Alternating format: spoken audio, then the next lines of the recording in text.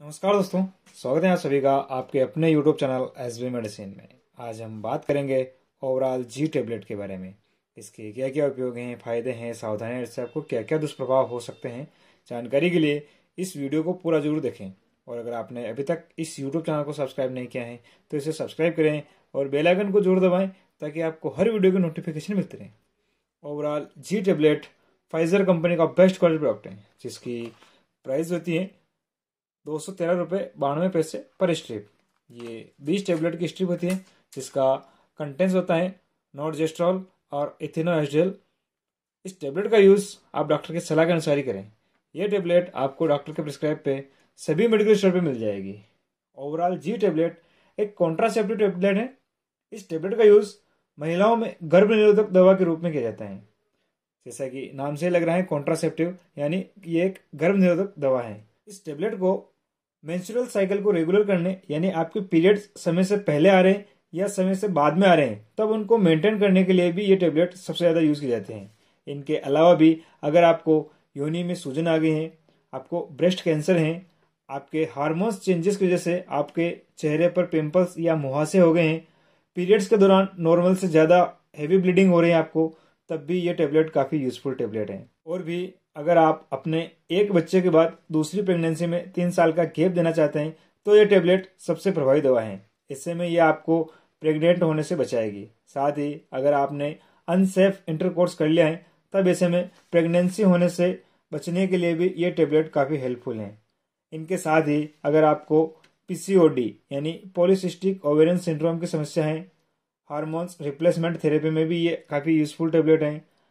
अगर आपके डिम्ब ग्रंथि में अल्सर है तो उनको कम करने के लिए और पेनफुल पीरियड्स यानी महावारी के दौरान आपको बहुत ज़्यादा दर्द होता है, तब भी ये टेबलेट आपको काफ़ी आराम दिलाएगी। और भी कभी कभी डॉक्टर्स इसे डिलेड प्यूबर्टी यानी कोई गर्ल्स हैं, जिनकी एज 18 से 20 साल हो गए हैं, फिर भी उनकी ब्रेस्ट की साइज़ जितनी होनी चाहिए उतनी नहीं हुई है, तब भी ऐसे में आपको ये टेबलेट आपको डॉक्टर्स लेने की सलाह दे सकते हैं।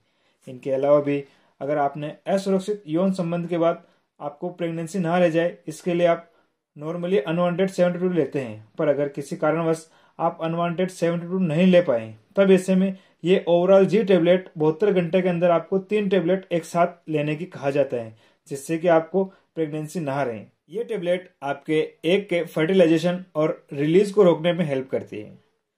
जान लेते हैं इसके सावधानियों के बारे में। तो अगर आप स्मोकिंग करते हैं, आपको पहले कभी हार्ट अटैक आया हुआ है या फिर आपको वेजाइनल कैंसर है, या फिर आप प्रेग्नेंट लेडी हैं तो ऐसे में आप इसका यूज़ ना करें, या फिर डॉक्टर्स की एडवाइस के अनुसार ही इसका यूज़ किया जाए तो बेटर रहेगा।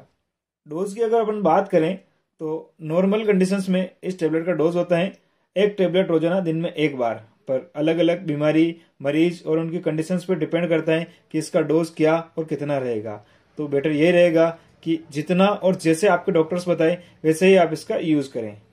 बात कर लेते हैं इसके होने वाले साइड इफ़ेक्ट के बारे में। तो इसके जो कॉमन साइड इफ़ेक्ट आपको नज़र आ सकते हैं, वो हैं ब्रेस्ट में पेन होना, आपको नोजिया या वोमिटिंग होना, और आपको लंबे समय तक का पीरियड्स ना आने की प्रॉब्लम्स नज़र आ सकती हैं। इससे साइड इफ़ेक्ट लंबे टाइम तक नहीं रहते हैं, कुछ समय बाद अपने आप ठीक हो जाते हैं। हो सकता है इन सभी साइड इफ़ेक्ट के अलावा भी आपको और भी कोई दूसरे साइड इफ़ेक्ट नज़र आए। अगर इन सभी साइड इफ़ेक्ट के अलावा आपको कोई भी दूसरे साइड इफ़ेक्ट दिखते हैं, तब ऐसे में आप इसका यूज़ बंद करें और तुरंत अपने डॉक्टर से कंसल्ट करें। तो फ्रेंड्स उम्मीद है आपको वीडियो ज़रूर पसंद आया होगा। अगर वीडियो अच्छा लगा है तो लाइक करें कमेंट करें शेयर करें और चैनल को सब्सक्राइब करना ना भूलें। Thank you